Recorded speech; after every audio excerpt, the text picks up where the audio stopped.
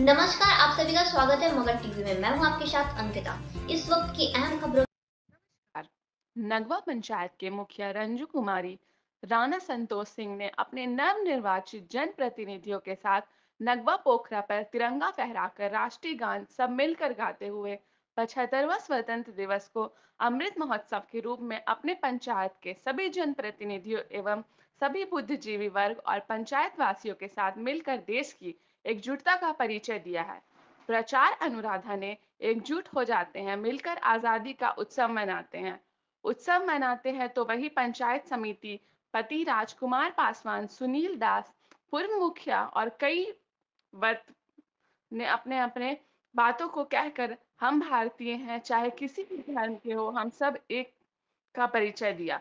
इसी बीच रामदास प्रसाद कुमार पासवान, पंचायत समिति पति अर्जुन पासवान विजय प्रसाद नाधनी दास, सुनील दास, पूर्व जिला परिषद, ईश्वर सिंह, जगन्नाथ प्रसाद, रामकांत सिम्हा यदि सोने के पिंजरे में कैद कर दिया जाता है, उसके कटोरे में अच्छे भोजन रख दिए जाए तो उस पक्षी को भी वो सोने का पिंजरा अच्छा नहीं लगता और ना तो सुंदर व्यंजन उसे भाते हैं। वो भी मुक्त होकर के इस आकाश में उड़ान भरना चाहता है और मुक्त होने के लिए संघर्ष करता प्राणों की बाजी लगा देता है। उसी प्रकार हमारे भारत देश के कई वीर नौजवानों ने भी स्वतंत्रता प्राप्ति हेतु अपने प्राणों की बाजी लगाई है।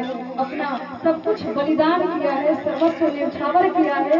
तब जाकर के आज हमें यह स्वतंत्रता मिली है। आज़ादी के अमृत महोत्सव को मनाने का हमें अवसर प्राप्त हुआ है तो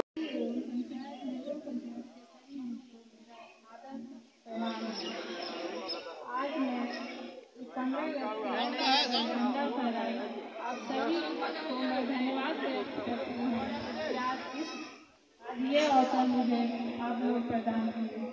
और मैं इस पंद्रह अगस्त के अवसर पर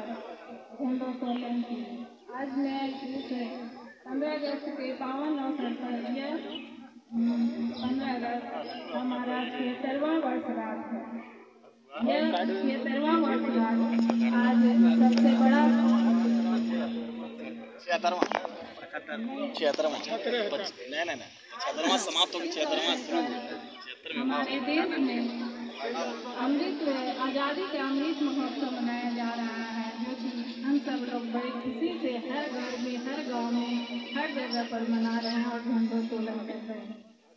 इसलिए हम सभी लोगों को आज हमारे देश के लिए यह संकल्प लेना चाहिए कि हम सभी लोग हमारे देश के उन्नति के लिए हम सब एक दूसरे को आगे बढ़े हर गाँव हर घर को आगे बढ़ाएँ, हर गाँव हर घर आगे बढ़ेगा, तभी हमारा देश आगे बढ़ेगा।